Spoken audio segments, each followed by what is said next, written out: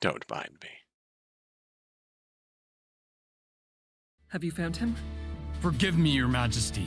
We have not been able to track down the Crown Prince yet, but we are doing our best. Then what are you still standing here for? Go and look for him. Ah, yes, of course, Your Highness. Ilias watched as the guard hastily stumbled out of the wide auditorium, past the crowd of men and women entering the hall. These people were all from influential families with long lasting reputations to their names and wanted to watch the speech in person. He was standing on the sidelines of the stage with Sarai and Tamara, separated from the audience by the thin partition so that they couldn't be seen directly. He looked down after he felt a tug on the sleeve of his uniform. Tamara had reached for him, but she didn't look at him directly as her gaze was lowered. The sadness and shame on her face was plain to see. Just seeing his little girl like that was enough to tear at his already poor heart. Such a tiny girl, and yet she had to carry so much responsibility on her little shoulders. His already poor heart. Did she get the constitution of her mother and the temperament of her father? And Ira got temperament of her mother and the constitution of his father. Ilias knelt down by his daughter and gently lifted her head to look her straight in the eyes. With misty eyes, she tried to avoid him, but he gave her no chance. Mishaps happen, sweetheart. And that's completely fine. Don't cuddle her, Ilias. She had one job and she couldn't even do it properly. It was her responsibility to look after the Crown Prince, and now he's nowhere to be found. Sarai? Before Ilias was able to refute his wife, he felt his daughter's hand reach for his own, as though she didn't want him to stand up for her. I apologize, Mother. Yes, you are right. This is my fault. I am to blame. Good. Sarai, that's enough. The responsibility doesn't lie on Tamara. It lies on us, on you and me both as parents. If you want to blame someone for Ira constantly running away, you should start with yourself. A good dad. Pained his heart to have to say these words, but he had it had enough. He could no longer bear to watch Sarai take out her own frustration and insecurities on their daughter time and time again. Sarai's eyes widened. Of all people, she probably hadn't expected that Ilias, someone who had always stood by her side since their childhood days, who had always offered her his, her shoulder to lean on at the worst times of her life, would now turn against her. I see. Taking a step back, she turned away from him and looked into the distance, rubbing her arm. Oh, my love, when will you ever be able to let others into your heart? Now the murmur of the audience had grown louder. The room had filled up, and everyone had found their respective seats. It was about time. Now that I think about it, where exactly is Rufus? Wasn't he supposed to give a short speech after yours? Hmm? Indeed. I was wondering the same. At that moment, as if they had called for it, the door behind them burst open, and a man out of breath stepped toward them. Forgive me for my unsightly manners. I arrived as soon as I could, as I will be representing my brother in his stead. Due to his current health condition, he will not be with us today. I understand. There's probably nothing that can be done about it. He already looked very sickly when he was welcoming us yesterday. Hmm. Julius knew him, though even in passing, they hadn't exchanged, exchanged a word.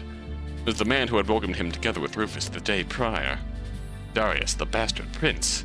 At least that's what they called him at court. It was said that the previous leader of this ark had fallen hopelessly in love with a prostitute from the slums and made her his concubine. And thus the man who now stood before them, trying to compose himself, had been conceived. Ilias recalled that the prince's concubine mother had unexpectedly passed away during his childhood due to an, air quotes, illness. Could have been straight up illness, and that radicalized Darius, but over a few years after her passing, rumors of poisoning began to call, being the cause of her death began to spread. Okay, okay, yep. Air quotes, illness.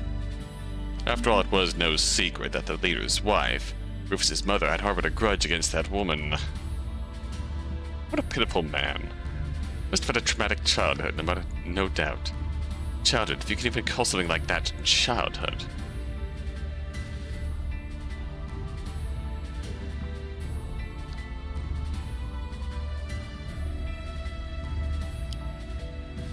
What a I can. Hmm. I feel like that that that one sentence is also very telling for Ilias's character.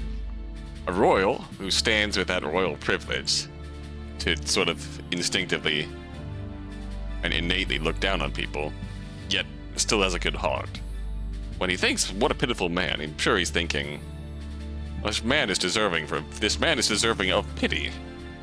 But when you leave, read when you read the sentence, "What a pitiful man," you think, "This man is sad and pathetic." It's a line that offers pity for Darius's situation, yet has that innate royal condescension in it. Darius's eyes wandered to the watch on his wrist and then back to the royal family. With a nod, he pointed to the center of the stage. It's time. The broadcast will begin in less than two minutes. Understood. Would the prince consort and the princess like to stand behind her majesty while she is giving her speech? The Ox residents would certainly be delighted to see the entire royal family together like this. Entire. And first, Ilias and Sarai exchanged confused looks. This was not part of the program. Originally, he and Tamara were supposed to remain on the sidelines as onlookers. The sigh, Sarai closed her eyes and nodded. Fine. She cast one last glare at him with an expression Ilias knew only too well. The discussion isn't over yet, we'll talk later. He couldn't help but crack a smile. He then turned around and stepped toward her designated position, but when Sarai came into the spectators' line of sight, the auditorium's murmurs ceased. Come now, sweetheart. Let's follow your mother. He gently took hold of his daughter's hand, and together they followed his rather stubborn wife to the front center of the stage. Standing a little to the side beside her, he tenderly placed his hands on Tamara's shoulders, who he had moved in front of her. Without wasting another second, Sarai began her speech as soon as she had received the cue. What do you think of relationship dynamics like that, where, looking at it as an outside observer, it looks like you're in love? And yet, Ilias here is still very clearly in love with his wife. And behind the scenes, when it's just them, they may be happy, but looking at them from outside, you might be thinking, red flags for red flags on this lady. It's a complicated relationship, no doubt. It's intriguing to think about. Why am I? Don't mind me rambling. Sorry. As Elias had expected, her voice resonated with grace and elegance, as though she meant every word she said. Yet he was the one who had actually written it. Ah! She almost seemed as though she wasn't harboring any negative emotions, though she wasn't dying of worry because her precious little boy had vanished without a trace. Ira. Would be lying if he said that he wasn't worried about the whereabouts of his son. After all, like Tamara, he was his child, the child of the woman he loved, after all. All this was his fault.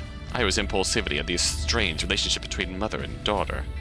If Ira hadn't inherited Ilias, Ilia, Ilias's weak heart, Sarai most likely wouldn't be so overprotective of him, which in turn meant that he wouldn't be so out of control. Now that I think about it, why did he refer to us as the entire royal family despite Ira being missing? He even bother to ask about him? He looked at the man standing on the sidelines, who simply returned a broad smile, feigning ignorance. Huh? There was something irritating Elias, Elias, however. It was a small beeping sound that rang in his ears and yet was barely perceivable. Where did it come from?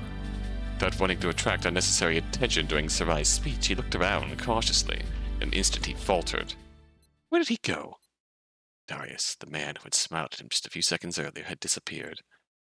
Immediately, Ilias's stomach began to twist. Sweat formed on his palms, and the grip of his daughter's shoulders tightened. Then, as though he already knew, his eyes wandered up to the, ca- to the canopy of the stage as an ice-cold shiver caused him to choke. Amidst the pipes, poles, and panels that held the roofing together, countless small red lights blinked down to him, hardly noticeable unless one paid closer attention to them. Bombs. Long live the future of humanity! Long live the. One desperate attempt, Eli- Elias lunged forward. Clutching his daughter tightly onto him with one arm, he pushed Sarai forward and off the stage using all the strength he could muster with the other. He had to protect them, come what may. Even if he had to give his life in return, he had to. His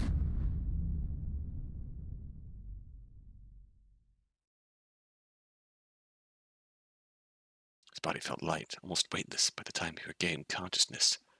But he knew for certain that this was not the case. Quite opposite. Along with his daughter, he had been buried under the rubble of what had once been the auditorium. What little strength he had left, he was able to support himself on his arms and shield her underneath. D- Daddy? His daughter's trembling voice seeped hazily through his blood soaked ears. A wave of relief washed through whatever he could still feel of his body. Opening his mouth, he wanted to say something to her, but instead of words, a warm, thick liquid pushed its way up his trachea, causing him to choke on his own words.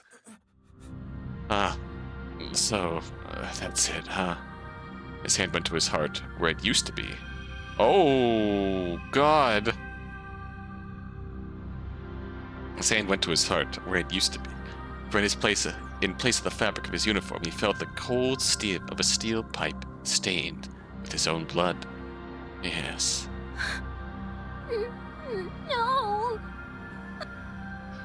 He'd give to see her at least one last time. Her adorable green eyes. Her sweet smile reminded him of her mother when he was she was that age. His little Tamara. Yet he knew he'd be denied this selfish wish because it was far too dark to see anything behind beneath this rubble.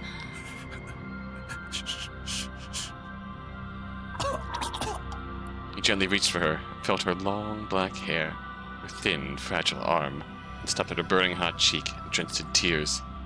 A hopeless attempt, he carefully tried to wipe away the tears with his thumb. With every tear he dried, two more appeared. You have to live. Please. Don't leave me, Daddy. Please. Please. With each passing second, his body became heavier as if it wanted to melt into the ground. Muscles that mere moments ago were full of adrenaline became weaker and his eyelids longed to close forever. It was time. Did Sarai make it? Did she manage to avoid the direct impact of the explosion? Was she still alive? Perhaps we could find out on the other side when their souls met again, as she cursed at him. Idea which he gladly welcomed. Shit, here we go. Let us remember those who regrettably did not make it to this glorious day. Those who gave their lives so that we can live a fulfilled life within the Arks in peace and prosperity. Side Zeke? Let us honor those who continue to fight for us every day outside, hoping that one day we will be able to return. Long live the future of humanity! Long live the.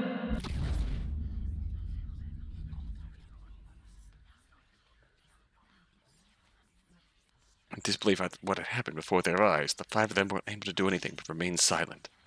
The first person to break the silence was Felix, Lydia's younger brother. An attack? Though Zeke would have liked to refute this, the facts were clear. By now, even the bystanders surrounding them seemed to have realized what had happened just a few seconds ago. The crowd became noisier, restless like a typhoon, the voices intertwined into a huge roar, uproar of terrified screams. The awful anticipation of a festive day filled with happiness and serenity was painfully ripped away from them. I. Oh, we we need to calm the civilians. Yes. As Lydia prepared to take her first step toward the mob, a violent earthquake erupted beneath their feet. She stumbled, but fortunately, Zeke swiftly wrapped his arm around her waist, shielding her from the impact. Gratefully, she clung to his shirt and he, as he helped her back to her feet. Blood curdling rumble of the quake drowned out the stampede of panicked cries from the people, transforming into a torrent of terror that surged toward the group, threatening to engulf them. What's going on? I don't know, but whatever it is, it's not. The ground's tremor subsided in a matter of seconds, offering them a false sense of relief, convincing them it was over. Yet Nahum's call was drowned out by an ear piercing scream that shook Zeke to the core. He recognized this agonizing cry all too well. After all, he had been forced to confront it several times beyond the Ark's protective walls. Chimeras? Oh! He was not the only one to conclude this, as the whole area soon dissolved into a symphony of fear. Screaming, people ran in all directions, stumbling over each other. People scattered like sand in the wind, without regard for those around them. Infant men trampling others to ensure their own survival. And the five of them remained rooted to the same spot, horrified as they watched the unfolding scene before them. What are Chimeras doing inside the Arks? How. How is that even possible? Lydia was the first to manage to utter a word, with her hand still buried in his, in his shirt. Zeke could feel her trembling, temper, tender body against his. Ah, ah, oh, how deeply he felt the need to pull her close to him and quell her fear. Not the time, Big Zeke. No, no such selfish requests had no place in a situation like this. Good man. He took hold of the, of the hand that had been clinging to him like a lifeline in her panic and separated her from him. Serious expression, he took a deep breath to calm his own shaky voice before he began to speak. We have to head to the base and get our mechs. We won't be able to do anything against the Chimeras, and we'll just end up as fodder for them if we stay on the ground like this. Yes, you're right. Agreed. We won't be able to help the civilians like this. Let's. Oh no. Oh no? Zeke watched Nahum stagger backwards, his eyes wide with terror, almost like he had come to a terrible realization. Nahum? Shiloh, she is still. I have to get to her. Oh boy. Nahum? Wait! Despite her pleas, he refused to respond. Nahum simply turned his back on them and ran off in the opposite direction to where their mechs were stationed. That fool! I'll chase after him and bring him back, or he'll end up getting himself killed. You two go on ahead. But. No buts. The protection of the Ark is our top priority. I'm counting on you. Yona! No. Don't go. No matter how hard Lydia tried to suppress the fear that was building up inside her, she couldn't fool her body. So fragile and trembling. But who could blame her? Zeke wanted to lay his hand gently on her shoulder to show her that he wasn't alone in this, but Why? No. he froze. The sound of his name plunged a blade deep and agonizingly slow into his soul. No, no, no, no, it was always him. Why? What was so good about him? But someone who didn't give a fuck about her. Hmm. But someone who only had eyes for his sister of all people. We don't have much time. Let's go. That's the correct opinion. I did not expect that so strongly from Zeke. Grabbed Lydia by the hand and her younger brother by the wrist, firmly dragging the siblings with him. Why was Zeke so bothered by such trivialities in a situation like this of all things? Who cared that Lydia had unrequited feelings for Nahum and was only driving herself to her own misery? The kids are not okay. Hey! Zeke! That's not the right way! It is. We are taking a detour through the alleyways to avoid running straight into the Chimera's arms. Ugh, ugh, oh, my legs hurt. You have to endure it. Run, boy! With every stri- with every turn they had made, the cries and the mirrors became quieter and quieter, fading into the background of the evacuation sirens which were audible throughout the entire Ark. Just a little further and they would be there. Just around this corner and then Zeke, no! happened in the blink of an eye. Her eyes wide open, looking straight at him. Those emerald eyes had usually shimmered at him, brimming with happiness. Warm, dainty hands had pushed him away with all their might. Those beautiful hands that he had yearned to be touched by all those years. And the oh, the chimera behind her, its colossal stature. It had utilized the density of the large buildings and had taken cover in one of the back alleys, waiting for an opportunity to strike. Hidden behind a mask of bones, its crimson red eyes were fixated on them, fixated on her. Oh! Oh! God! Warm liquid gushed into his face, slowly running down his forehead, across his cheek and onto his chin. Blood. It was her blood that poured down on him like a rain in the summer evening, wetting his hair, his shoulders, his entire body, enveloped him, even warmed them in a cruel, morbid way. Zeke looked up at the beast, at Lydia, lower half of her body hanging motionless from the mouth of its central head. A single muscle was moving. She was. The monster was mocking him, taking pleasure in the suffering he was subjected to. It sank its teeth deeper into his flesh, like she was a mere toy to play with. Her bones cracked, setting another wave of her blood down on them. Lydia, no! No! Though the poor boy next to him had only just realized what had happened to his lovely sister, in front of his own eyes, he lunged forward. Mustering whatever strength his trembling body had to offer, Zeke managed to grab the boy by the collar and pull him back into a tight embrace. No, let go of me! I have to. I have to go. I have to go to her. Do you have a death wish? You can't help her anymore. She's. She's dead. She's dead and it's all my fault. I had to get out of here while the Chimera was still occupied with her, the body. Just as quickly as, she, as he could, Zeke holstered Felix over his shoulder and began to run. Boy had to survive, and he had to make sure of that. If it cost Zeke his own life, that was his debt to her. His debt to her life and the love he destroyed. No, Lydia! Lydia! Well, goddamn. I was just saying 10 seconds ago how I wished that. Whoop! Three years ago? Man. I'm so tired. I can understand why Zeke is yawning like that. But what reason do you have to be tired, Lydia? You even overslept today. Yes, and? Am I not allowed to be tired? Besides, I don't really like having to patrol the labor platform. Whose fault is it that we're forced to do this? Weren't you the one who had to. Ugh. Whose fault is it that we're forced to do this? Weren't you the one who had to pick a fight with the teacher? Ugh. It's his own fault. Well, he wasn't wrong when he said that the slums residents aren't as entitled to exist as those living on the Uh. plateau. Uh. Zeke, you of all people shouldn't say things like that. Aren't as entitled to exist. What? Because I'm from the slums? Is that what you mean? I'm saying this Hmm. because I am from the slums. Someone like you who has led a privileged life on the plateau better keep their mouth shut. Stop arguing, you two. What are you, 12? It's unbearable. What's done is done. Oh, hello. Uh.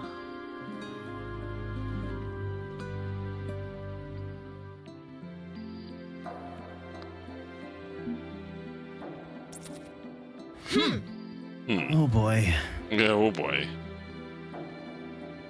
Despite being in the same unit for almost a year now and attending the military academy together, there were still many fights and a lot of arguing, especially between Lydia and Zeke. They were simply too incompatible in their views to concede to each other. Could their future as a unit really go well under these circumstances? The last thing Shiloh needed were people around her who would take everyone to an early grave because of their ignorance. Hey, everything okay? Are you exhausted? Uh, should we take a break? hmm? No, I'm. Oh! An ironic twist of fate, the ground beneath her feet began to rumble, causing her heart to freeze. During a moment of negligence, she had stepped right on a rotten floorboard, which immediately gave way under her weight. In her state of panic, she desperately tried to grab onto her brother, who, realizing her situation, also reached out for her.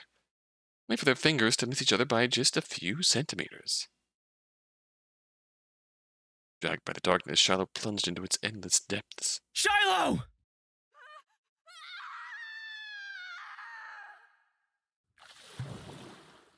Oh. Oh! We're back to here. Enveloped in icy coldness, floating through endless darkness, Shiloh could hear desperate cries in the far distance. Yes, they were not dist- yet they were not distressing or blood-curdling.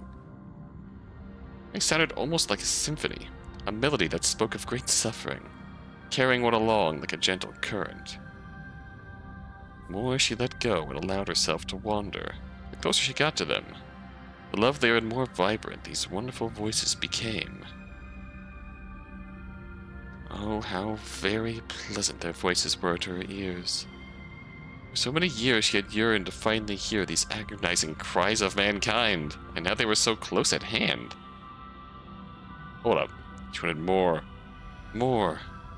She wanted to watch this forsaken world burn down to the ground and mankind with it.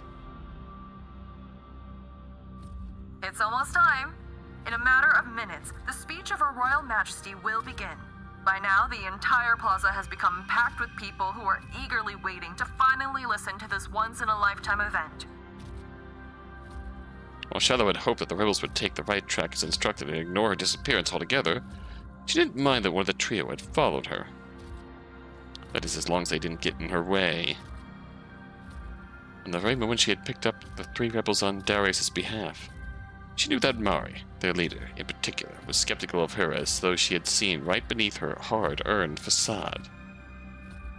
Finally, Shiloh's ultimate destiny was within reach and she wasn't going to let some stray thugs ruin it. If push came to shove, she would... Oh, it looks like it's starting now. This is interesting.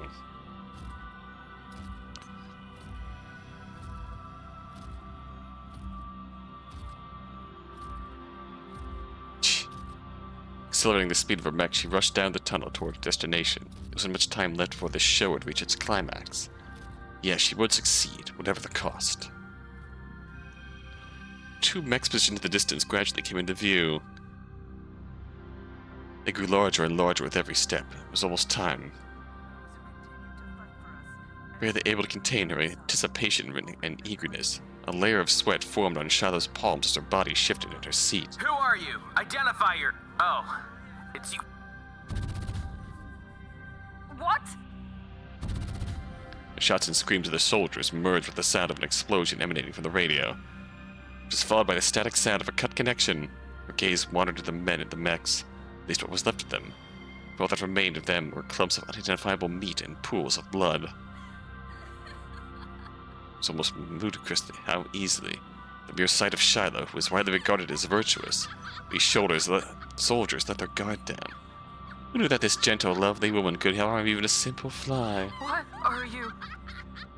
Shiloh's laughter ceased at the rebel's words. Right, that rebel woman was still around. Should she just kill her, too?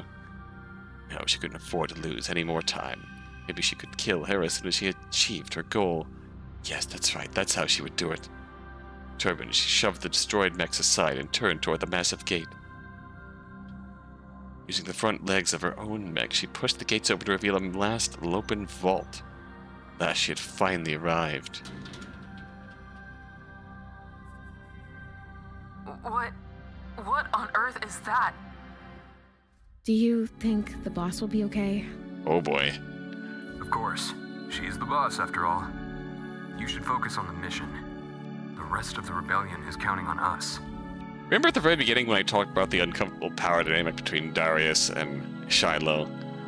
And they had that brief moment where, like, she turned the tables on him and got him in the position of, uh, I'm on top now, big boy. It's that one brief moment. Let's say, well, I didn't like the power dynamic between Darius and Shiloh. Wonder if that little tidbit there is indicative of Sh- Shiloh's true feelings on the matter. Like, love or not, tool or not on Darius's part, Shiloh seems genuinely in this. To watch the world burn. And um, however much that aligns with Darius or not remains to be seen, but we have that incident where she fell and nearly drowned. The call back on. Mentioned first as something that she clearly still has nightmares about, and second, as uh,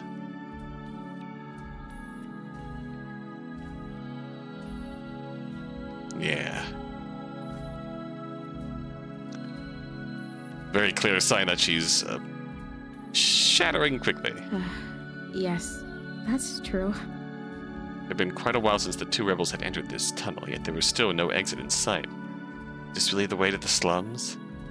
As time passed, she began to wonder whether this mission was really the right thing to do.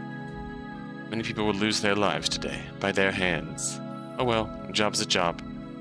Plus, this mission came straight from the main faction, so we didn't even have the option to refuse.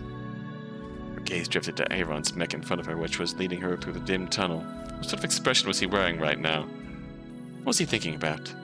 Memories of last night flashed through her mind as quick as lightning. Memories of his gentle yet firm touch on her exposed body, how he made her tremble in ecstasy, how he thrust himself deep inside of her, and how he prouded himself in. All right. I love you, I love you, Arhan. Ugh. Did I really confess my feelings to him? How absolutely dumb of me. How dumb, dumb, dumb, dumb. You okay, Brett? Yes. Get a grip, Esther. But, but why am I the only one remembering all of this? It just isn't fair. Brett, look. Huh? She looked ahead past his mech and she could see it, a bright light looming in the distance. The exit was finally within reach. They emerged from the darkness of the tunnel and were greeted by the blinding glare of the afternoon sun. Squinting, in, squinting her eyes, it took Esther a few seconds to adapt to the brightness. Oh. When she fully opened her eyes, she was confronted with a sight so unlike the plateau. Run-down houses were stacked close together, and the street was littered with trash. The street's many narrow side alleys that branched out like veins were filled with filthy, miserable people. Prostitutes eager to find their next client, the street children clawing at each other to maintain a hierarchy between the strong and the weak, haggard corpses on the roadside abandoned to become one with the soil. What a pathetic sight it was. Even inside their air-conditioned mechs, the biting stench of decay crawled up their noses. Yes, they had no doubt arrived in the slums. Huh? Memories of a distant past, a time that she had tried so hard to banish to the back of her mind, fought its way back to the surface. It was a time when she herself was once a child of the slums. Back when she was still an Eve, an orphan with no background or family, slaving away in the red light district day in, day out. Oh. Hoping to get enough food from her labor. Hoping that she could live to see another day. The smell of death clinging to the poor girl. Oh. What a miserable fate she was made to suffer. E9, would you be so kind as to come over here? E9. Oh god. Y- yes, madam? That's a concerningly young silhouette.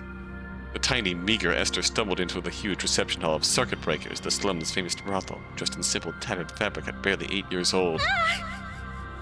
However, before she made it to the lavishly dressed woman in the center of the hall, someone behind her suddenly grabbed Esther by the arms and lifted her far too light body into the air, causing her to lose contact with the ground.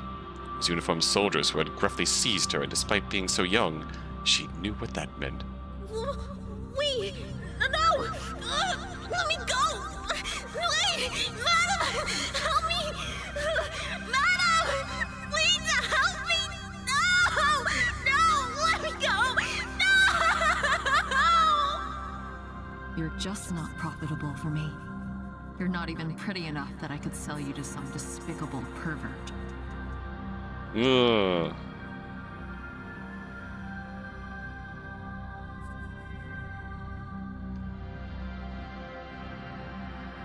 matter how hard little Esther tried to wriggle free, she was only a child.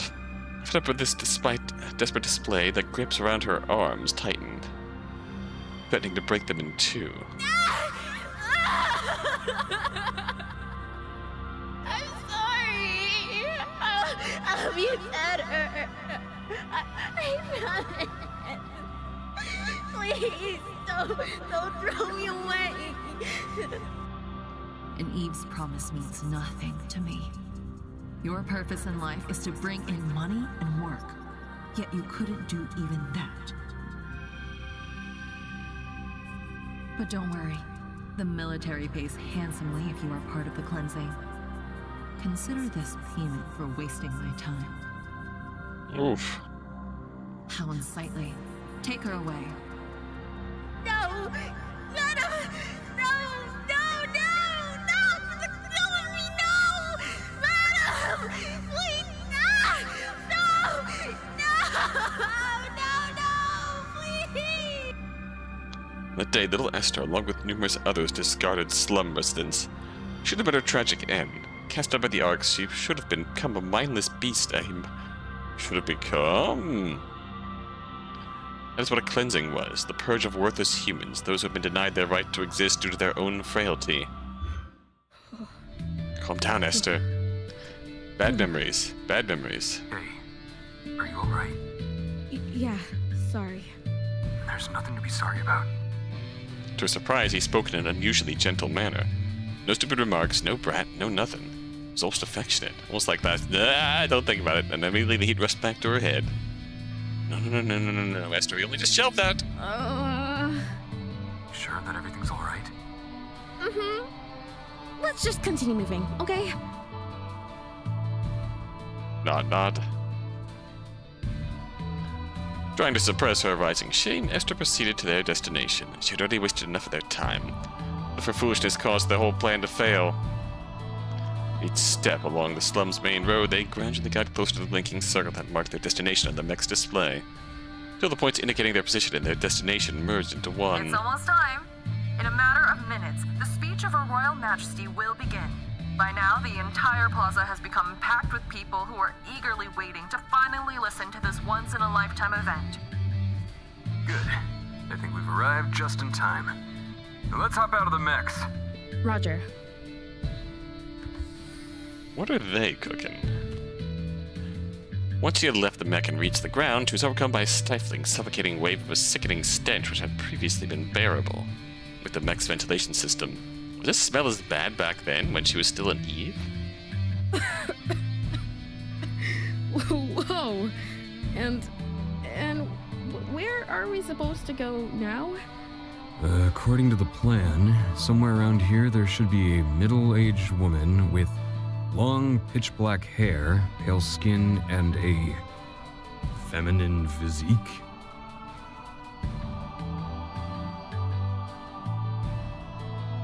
What? That's it? How should I know? Mari was the one who had more information about that woman's location. Great. Should we check every house one by one? I don't believe that's necessary. Oh? A soft, almost melancholic female voice from behind them interrupted their conversation. Alarmed, they turned around to find a middle-aged woman with long, pitch-black hair, pale skin, and a feminine physique. Are you... The woman replied with a slight nod and gestured to the door of one of the houses. Everything about her seemed at odds with her environment. She looked graceful, elegant. Esther couldn't help but be mesmerized by the sight of that woman. Please, follow me. Let's get this over with quickly. Alright. Shooting each other puzzled looks, the two rebels followed her into the small, shabby home, rather what appeared to be its entrance area. Welcome to the brothel ladies' residence. Don't Uh. worry, we won't be inconvenienced. The other ladies are all working. Hmm. Without them having to ask, the woman had already started to open up to them. Esther thought she could see a sad gleam in her eyes as she looked up the stairs, deep in thought. Are you sure you want to do this? Oh, yes. I had decided to take my life many years ago. But I never could. Something seemed to be keeping me here. And I think it's this moment here. You are aware that you will take countless lives with you, correct? Her enchanting smile seemed to grow sadder with each passing second, almost like she was reminiscing about times of sorrow and grief. Much regret resonated in her voice, and yet she sounded determined. This ark and all its people are filled with so much ignorance and self absorption. They don't care if another life is wiped from existence as long as it isn't theirs. Whether it is a child or adult, woman or man, the elderly or the young, something like compassion doesn't exist in this world. If there truly was such a thing, they wouldn't have. She paused and shut her eyes as an attempt to collect her thoughts and organize her emotions. Then they wouldn't have ripped my son, my beloved son, away from me. Then those people wouldn't have watched as my little boy was exiled from the Ark and turned into a chimera before their very eyes. but what am I talking about? I don't want to waste your time with something so mundane. Please, let us begin. Esther saw her partner's face contort into a grimace. She knew he wanted to say something in response, but any words would have been pointless now. So it would have been o- would be over in a matter of minutes anyways. As he strode toward the woman, Aaron Aaron pulled a vial containing a thick pitch black liquid out of his uniform pocket. Even the mere sight of it sent a shiver down Esther's spine. Are we gonna turn her into a chimera? The fact that they had to carry something so dangerous around with them. This substance contains venom extracted from the Hemiris' bodies, and was invented by one of our colony members. He's quite the freak, if you ask me. Ah, I see. Here. You need to pull the cap off and drink it in one go. It does have a very sweet scent, but I doubt it will taste good. Not that I've tried it. Owen didn't seem to understand his ramblings, but Esther believed she knew what he was trying to do. Distraction. He at least wanted to distract the poor woman from her troubled thoughts for the last few seconds she had left so that she wouldn't plunge to her doom in the miserable heart. Owen now appeared to realize his intentions, and a smile slowly formed on her lips. For the first time, she looked him straight in the eye. Thank you. Goodbye. Her farewell, so full of determination, did not sound final, but like a promise, like the hope of a, of a reunion. Before Esther was capable of uttering ever so much of a, as a word, the woman had already poured every last drop of the vial's liquid into her mouth. Rat, we have to leave now! What? The sight before Esther's eyes made her gentle heart stop. Graceful woman sank to the ground with a thump, her limbs bending and stretching in all directions, directions in which no part of her body should be moving. Esther! Aaron's firm grip on her waist made her heart resume its natural beat, protecting it from the suffocating feeling that was sinking deep inside her. She knew what it would mean to be exposed to the poison of a chimera, or what happened to the body of a human. She'd experienced it firsthand, yet she couldn't move a muscle. She was petrified. This wouldn't end well if she didn't move soon. They had to get out of here as fast as possible, but she, before she could act, Aaron reached for Esther and lifted her far too light body, wrapping her tightly in his arms. Red eyes. Hmm. I think I'm starting to piece together what Esther's. Kind of. Not sure. Not quite sure the how yet. She went through this uh, purge, which is supposed to turn you into a Mara. They tried. It didn't completely work because she's still maintaining her humanity, yet she has the red eyes of a Chimera.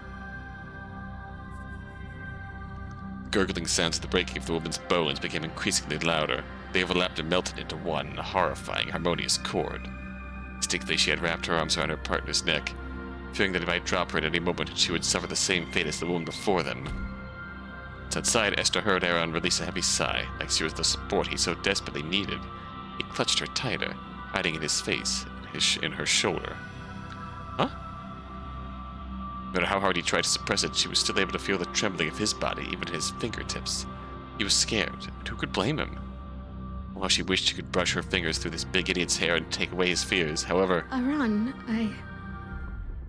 keep it together, we have work to do. A sudden tremor ripped the two for their moment of respite, alongside it causing, almost causing everyone to lose his balance in shock, but he managed to catch himself just in time. What? As they looked up, a horrifying sight awaited them, unfolding right before their eyes. Countless slum residents who had previously gone about their daily lives before had all collapsed to the ground like a house of cards shattered by a gust of wind. It was like the woman they let out painful cries, twisting their limbs in all directions and breaking them off one by one, one after the other. How can this be? Uh oh. No, that's impossible. This couldn't be happening because of us, could it? Esther in his arms, Aran recoiled, his eyes wide open. Tightening his grip on her, Aran's nails dug into her flesh. It was almost as if he was trapped in his own helplessness. No, if he didn't catch himself, it would be the end for them both. Aran, look at me. Her hands kept his cheeks firmly, pulling his head down toward her so that she could look directly into his eyes. We have to get out of here. Now. Yes, yes, right. Carefully, he set her back down on the ground, giving him a push in the direction of his back as she climbed back into her own.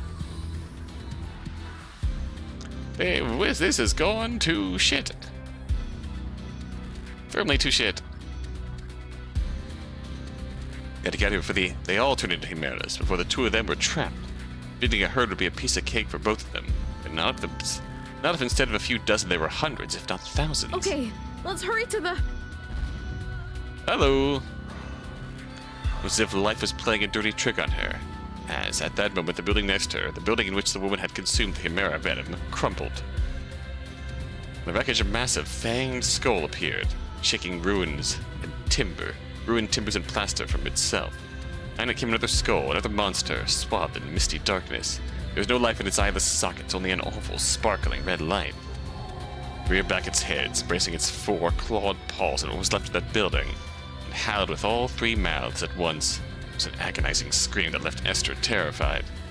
As if it were searching for something, the beast's heads turned in all directions before its piercing red eyes finally locked onto something. Onto her. Mister, watch out!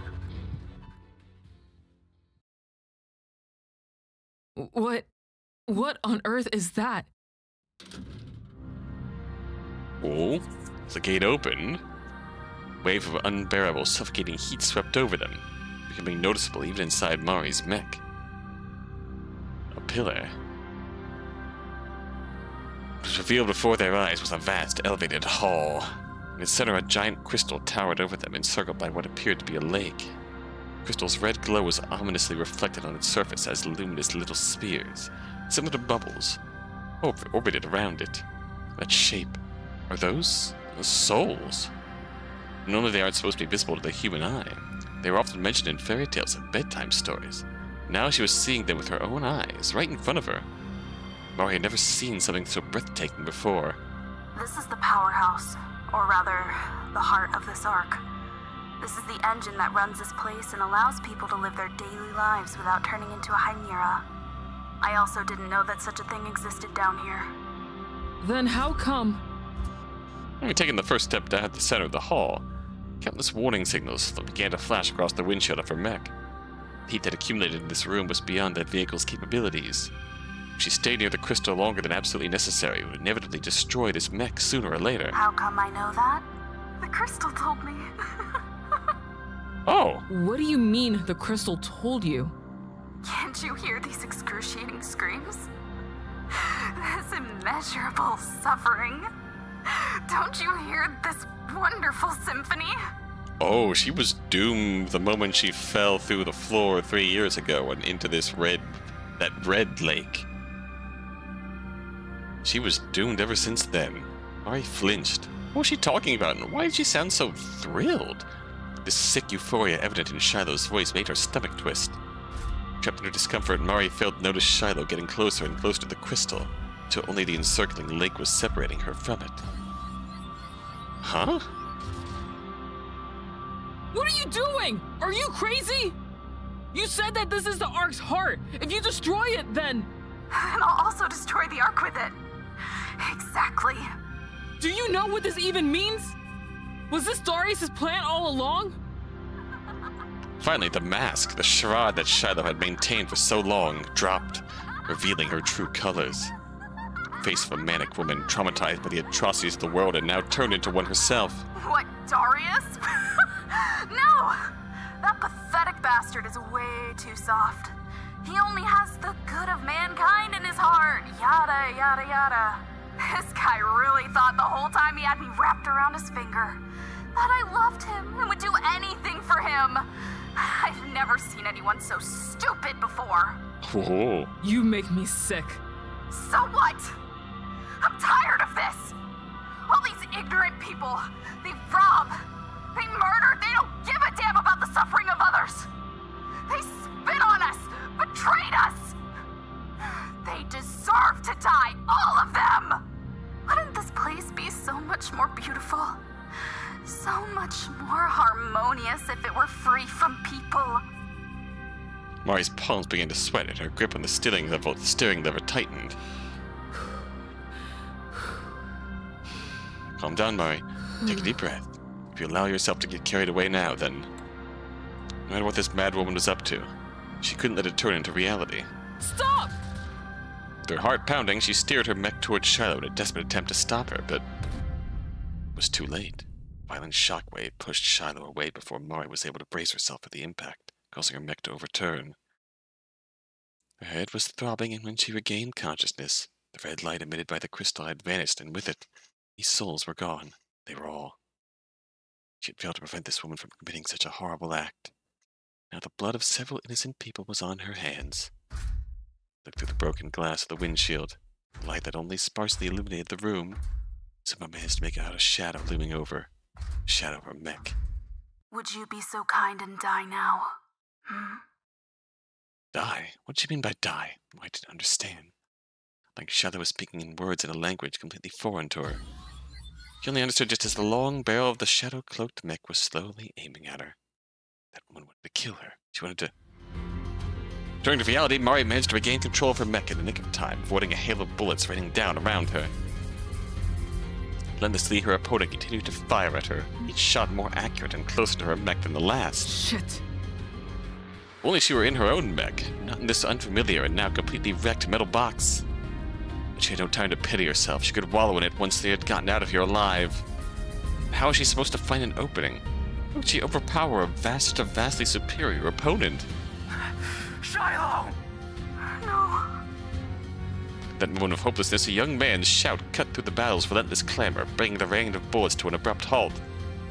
Oh no, she's gonna go right back onto the mask, get Nahum to fight her too, as though something was preventing her opponent from shooting. This was her chance. Using the situation to her advantage, Mari started firing, destroying the opposing mech's barrel and two out of its six legs, slowing it down momentarily. Now she'll need to get out of here. However, You bastard! Keep your fucking hands off my sister! Another mech blocked her. Only possible escape route. Having located its target, he charged directly towards. She's got backup. What? In time, she managed to evade his strikes. His attacks were fiercer, more erratic than his partner's, almost clumsy. Like in a dance fueled by anger and desperation, they maneuvered through the hall. What are you doing here? Why aren't you with Yona? Leave! Her destructive madness, the sadistic desire to destroy everything in her path evaporated. Instead, Mari heard a quiver of panic in Shiloh's voice as if she was a completely different person. That man had ebbed the tide of the raging hatred deep inside her. Are you crazy? I'm not leaving you alone. We made a promise.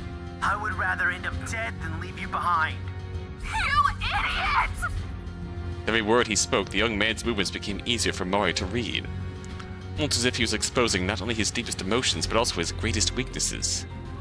Now, with a wild, unfocused sea of bullets, she found an opportunity as though a path was opening up just for her. She leapt forward, the barrel of her mech just a few meters away from her opponent's, aiming directly at his windshield. Oh! An act that caught even Mari by surprise. Shiloh managed to steer her mech toward them with the last bits of her strength. One final act of desperation, Shiloh tried to protect the life of the only person she had ever truly loved, exchanged for her own.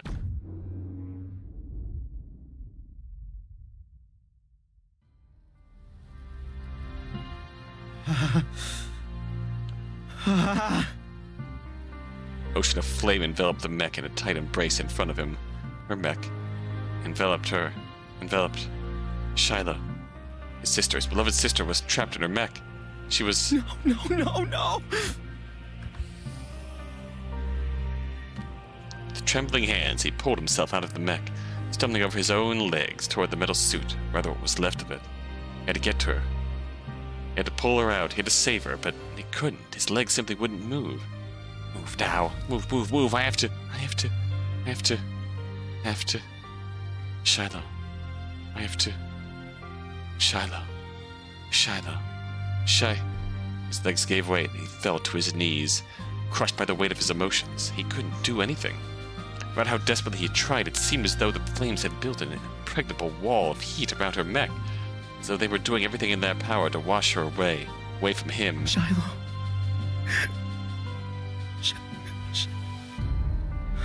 Shiloh. Ah.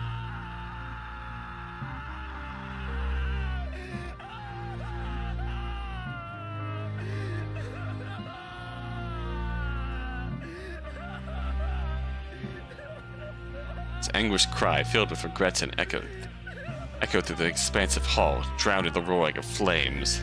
His tears burned deep into his flesh, mocking his plight, painfully reminding him of his failure. He so desperately wished to keep her safe, protect her gentle, pure soul from the cruelties of this world. But now, little, little, little did did he know, he long failed. She was gone, violently ripped from him. With her, his heart, which had only beat for her. What was the point of his meager existence without her? What reason was there to live for anymore?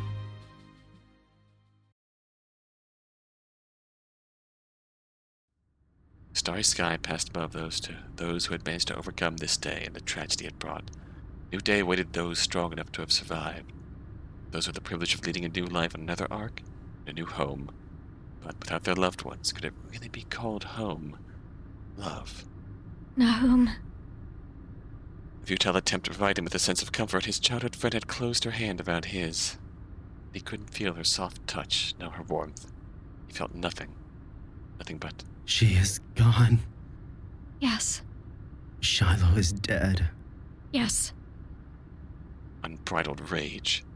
She was irrefutably gone, consumed by flames before him, or an explosion caused by that woman. Mari, the deathbringer of the rebellion, monster who had sent thousands of lives to their doom in the blink of an eye. Ah, that's how it turned.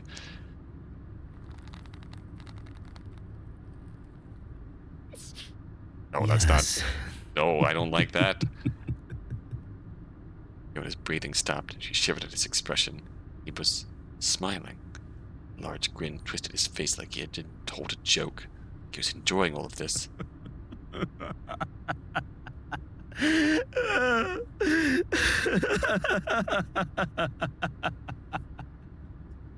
Blood is not okay.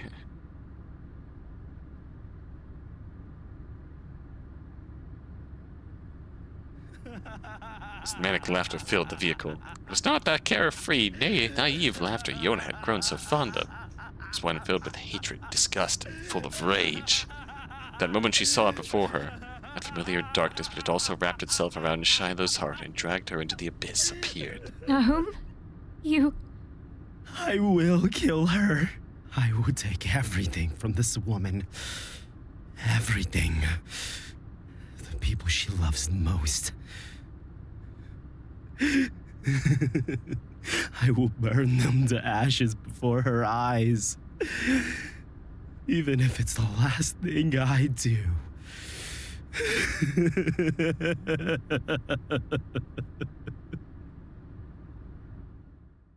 oh, Shiloh.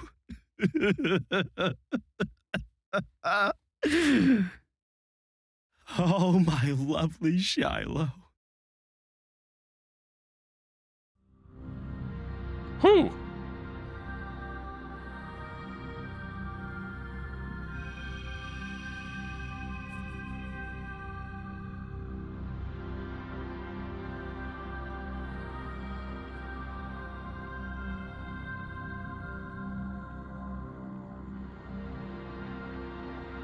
Whoo hoo hoo.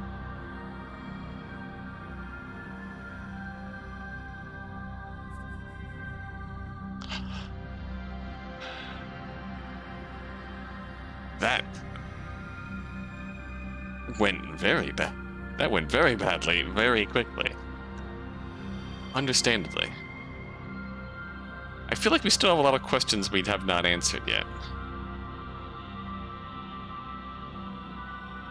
Although we could probably reason out enough of it to get by. Like, what happened to Ira? Darius had to have known. Darius killed Rufus. Darius likely discovered Ira in the closet. Killed Ira.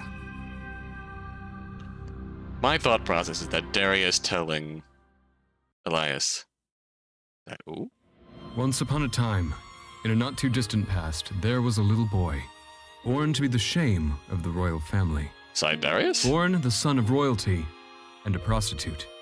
He was confronted with the reality of the world at an early age, with discrimination, hatred, and greed that humans carry in their hearts. Each passing day, he had to fight for his survival, to withstand those who sought to end his life due to his impurity and the dishonor he bore.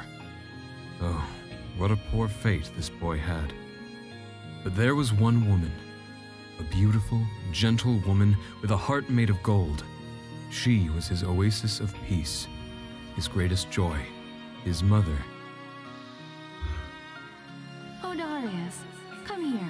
Did you get into another fight? Oh, come here, my baby. Let me tend to your wounds. What? You made this flower crown for me? Darius, are you sleeping? Darius, why are you sleeping out here? You're going to catch a cold. Yet the source of light in his life was snatched from him in an act of jealousy and resentment. Because of the attention of his sleazy father, his mother had been taken away from him in a fit of jealousy. Poisoned out of revenge, the murder of his mother was dismissed as a natural death, the consequence of an illness. But the young Darius knew the truth. His mother was murdered for simply being a dirty prostitute who had seduced the heart of a royal. That was all she'd been to these people. A dirty prostitute. No, she was so much more than that. She was a human being with a smile that was so warm and a soul so pure. Darius couldn't accept this disrespect, this injustice of categorizing people based on their background, their physical predispositions, watching their rights as humans being taken away from them. The royal family, with their perverse ideals, feasting on the suffering of the vulnerable, shouldn't be allowed to exist any longer. Darius wanted to kill the royal family. Shiloh wanted to kill everybody. No matter what he had to do, no matter what sacrifice he has to make, he has to make a change. For the good of mankind. And then he met her.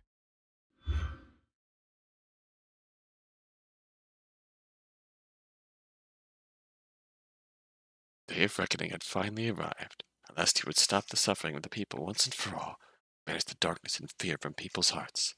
This was to begin with him. Body went to the ignorance of the wealthy, a perfect example of how they spit on and trample the weak. It was his turn to die. The one who was responsible for the death of Darius's mother killed her for the sake of his family's honor, his oh so beloved half brother. Hey, have you lost your mind? Seeing this pathetic man in front of him like this, his usually smug expression washed away, faced by one as if he was a deer dazzled by the headlights. Oh, Darius had longed for this day, the moment where he would finally repay him for all the years of torment. Rufus would finally see who was truly stronger, the one, the stronger one between them. Wait!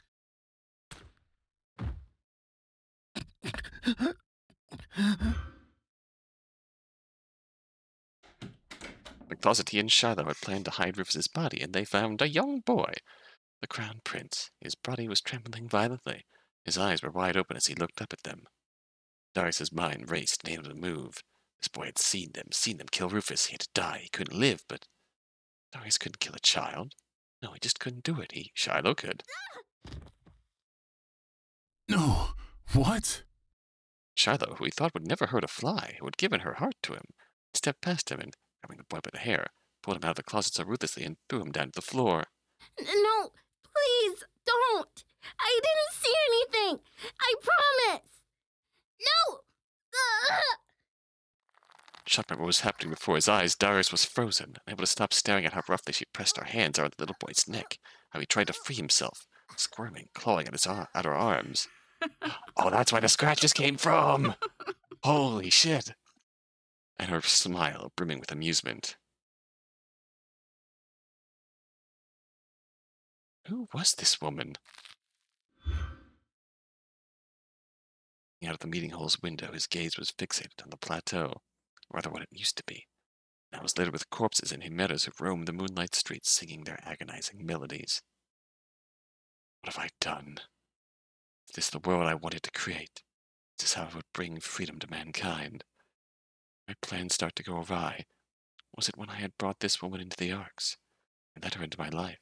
Was it much earlier?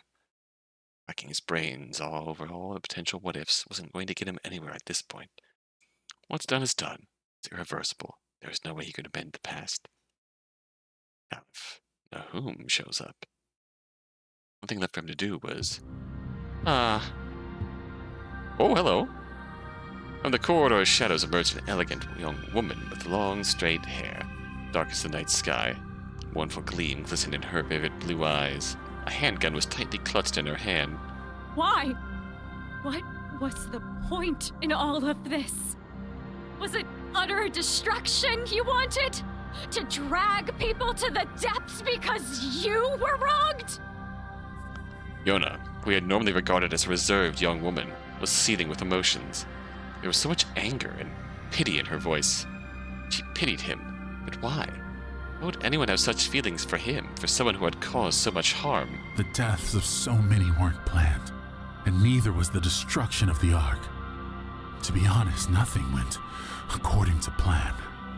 I had placed troops all over the plateau and sent Shiloh, an experienced soldier, into the slums so that the Chimeras could be wiped out as quickly as possible. They were only meant to be a distraction, to stir up some chaos and shift the blame to the rebels.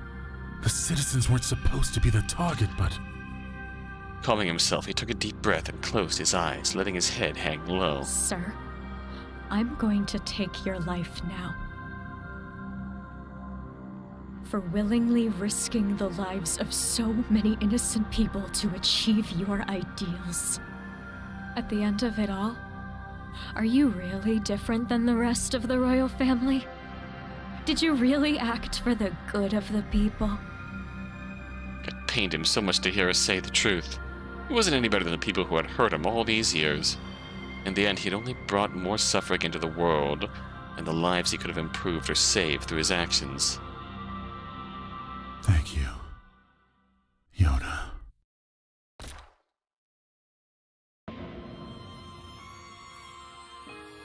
Whew! Alright.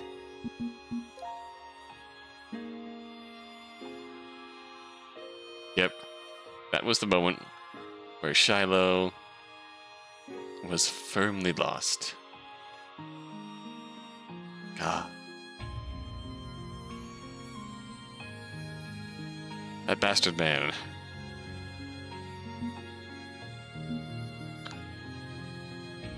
Also, gosh, that ooh. beautiful artwork by Autumn, indeed.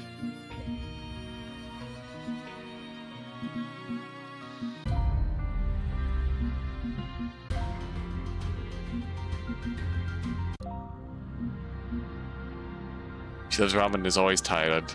That's a mood. But yes, the soundtrack was really good. Wonderful tracks composed by composed by Chaz Hozak. Beautiful artwork by Autumn.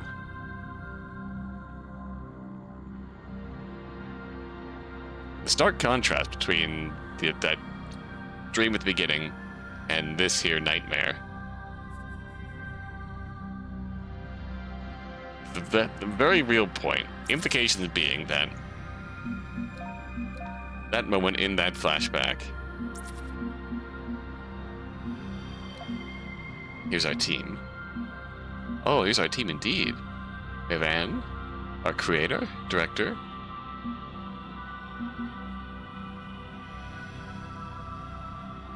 Auto editor programmer, uh, all across the board. It's a fantastic story. Not gonna lie.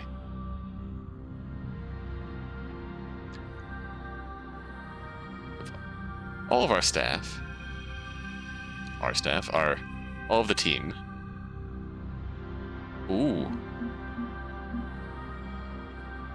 So you're responsible for the Chimeras? Honestly, really cool. Oops. Also really cool that that has uh, external links if you want to check out more of their work here. Pick up the game. Give a click. And find their socials, their pages. Uh, there's a little dude. Team Pet! Quality assurance all. That's awesome, though. Clock programmer. The clock function, that was also cool. That was a cool touch. There is our, uh, friends here. And gosh, the voices were came out, voices were really good. Honestly, I really enjoyed hearing this all the way through. Aaron, Esther, Mari. Uh,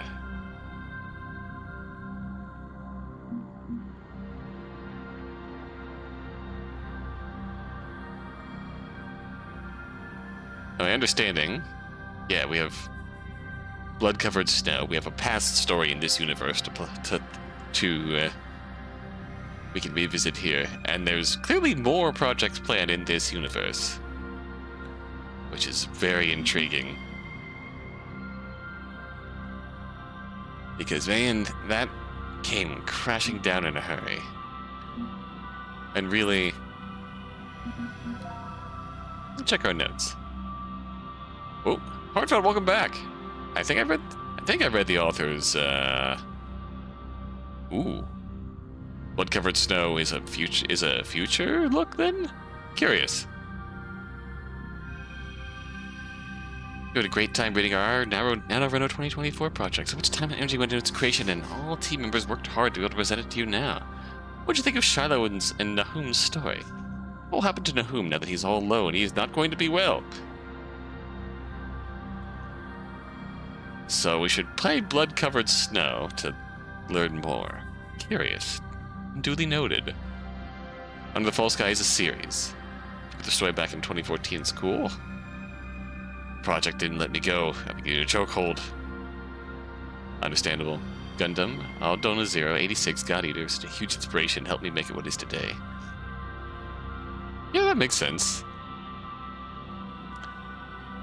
I don't know why the the arc also gives me the arc and the general like description of the mechs in general give, also gives me armored armored core vibes for some reason.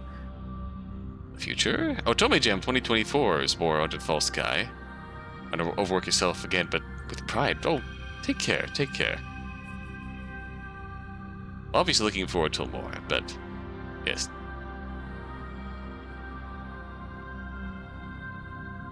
Need to leave a rating, comment, review on each page?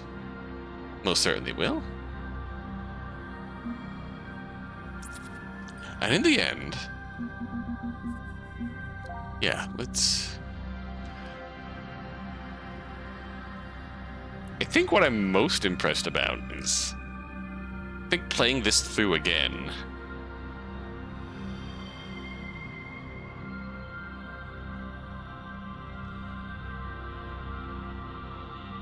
Like.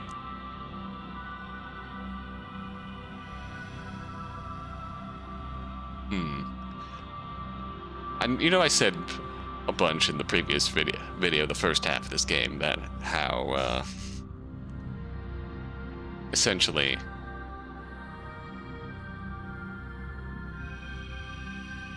with this full playthrough, we really started to get a clear picture of, uh, how everyone's relationship dynamics fit together. Except for Shiloh's, like, there are a few people we see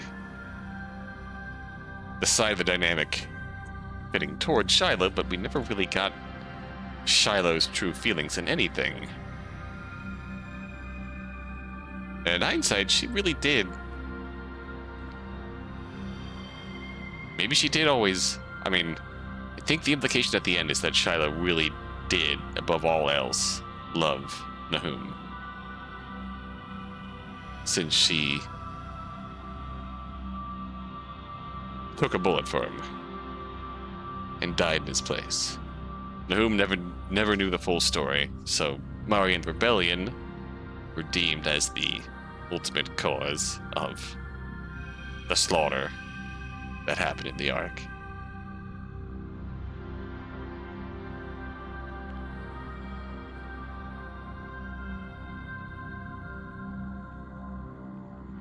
Which maybe that means that blood that this is uh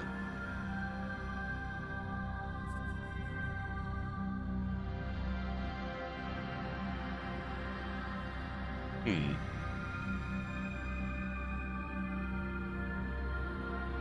Curious. Might have to try blood covered snow. See where the story goes since that, li- that little tease that this will tell us a little bit about what Nahum gets up to after all this. But I think impressively how it we maybe have just those little hints of how the dynamic wasn't entirely one-sided in Darius's favor.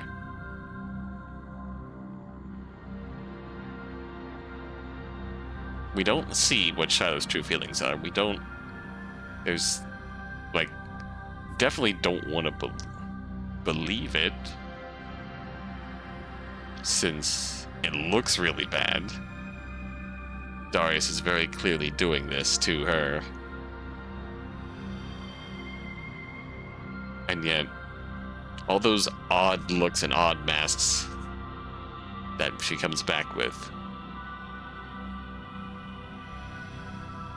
Hmm.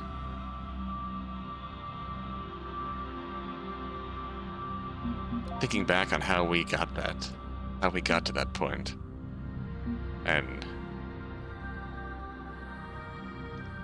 man, we st- still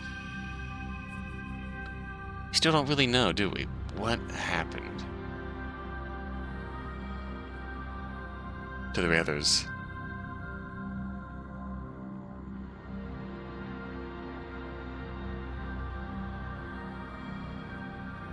Don't know what happened to them in the end.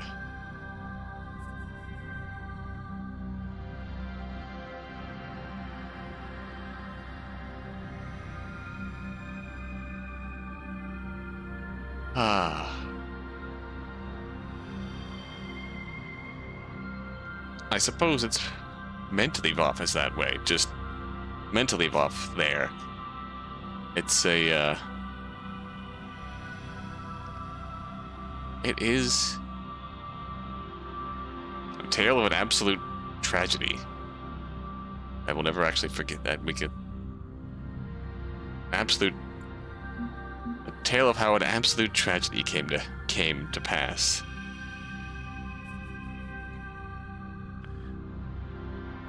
Brought on by a man who was trying to do a wrong, uh, something, a very, very bad thing for ostensibly what he convinced himself was good reasons, and how that itself got thrown off by a factor he never could have possibly known about.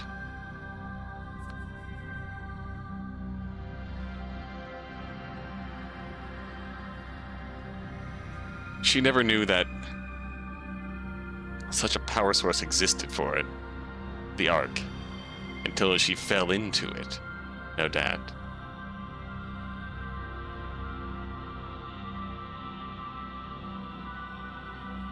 Is that the implication that we're go- that this happened three years ago?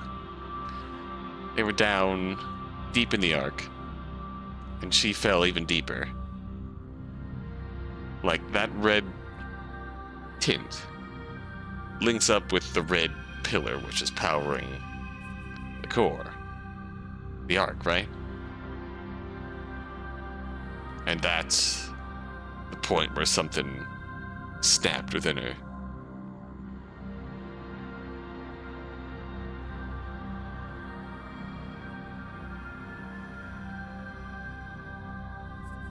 That's the point where that darkness first gripped her heart.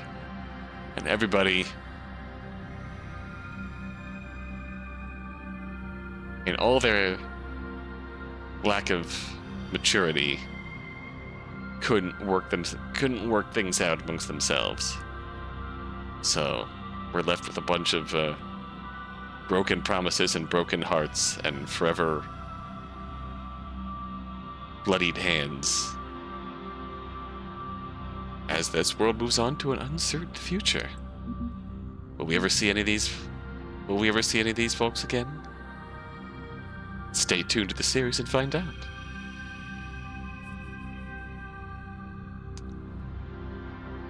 That very much delivered on the uh, ominous,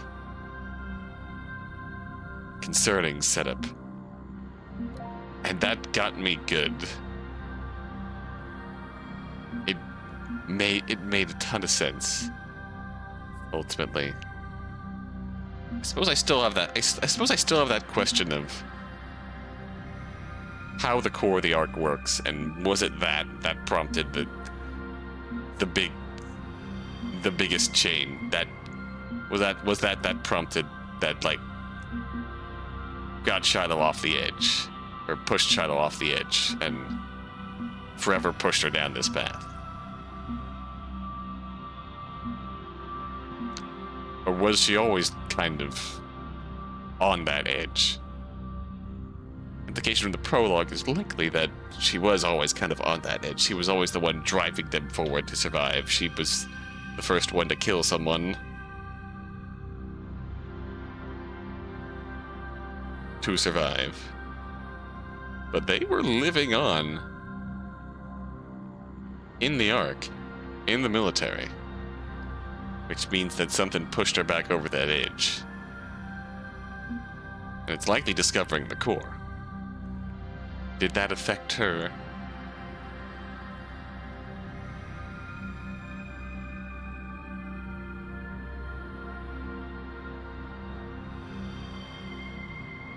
Is the implication there that uh,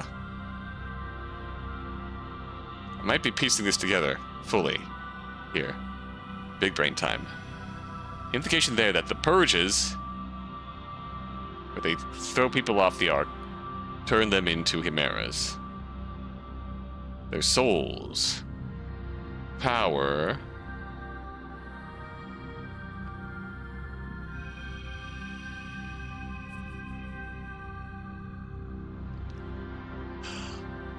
the soul's power, the core, which keeps the rest of humans from turning into chimeras. That's how my mind is sort of putting together this logical exchange, which, in the minds of the, the class structure of the Ark, justifies this uh, willful disposal of human life. They get turned into chimeras, their souls used to power the core of the Ark. Perhaps that's a function that Shiloh knew about, and discovering the core of the Ark and seeing this which Mari, who saw it for the first time, immediately identified what was hovering around in its souls. So Shiloh likely could have drawn the same conclusion and pieced all that together and sent her down this dark path. I may be just spitballing here. If I, if I am spitballing way out of control, I really apologize, but I just. That's how that's how things are fitting together in my head. And in the end, ultimately, in the end, tragedy across the board, right? No one was spared from the tragedy.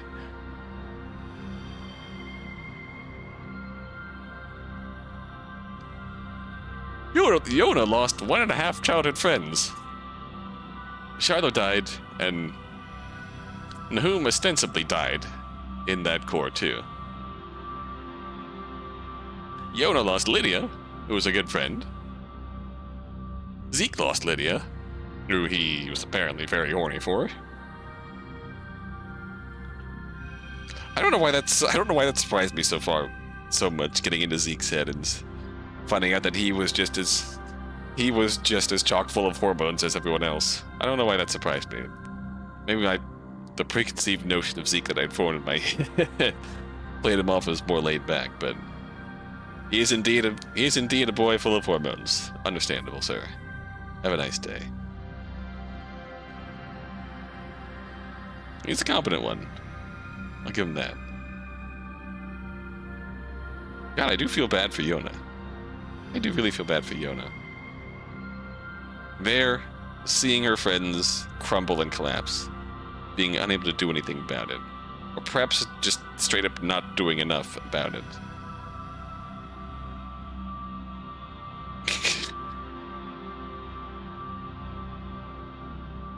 Ultimately, yeah, it's a tragedy across the board. Our good family, good family man. Again, I think I said my piece about uh, Isaiah early in, early on. Spottings of a good dad, but still with that royal privilege to the point where he uh, instinctively looks down on people, and that's still the problem.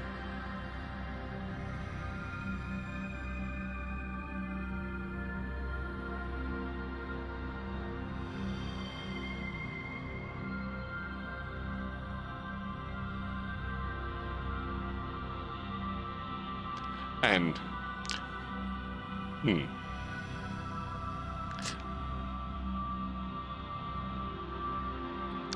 All right, I think yeah, if we're gonna sign off, sign off, sign off, sign off.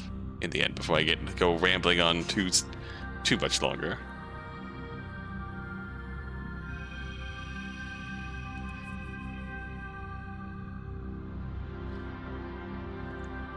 If you don't make the videos for long enough, if, you, if you've been around my content for long enough now, I think it's a good.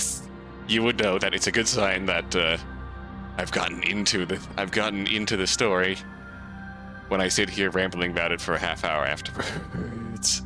so, yes, yes, I very much enjoyed this. If I want to, if I want to sit here for a half hour afterwards and recap it and piece it all together in my head, I really enjoyed it. It's stuck in my head now. Glad I went back and played this finally. Uh, weird here. It was worth it.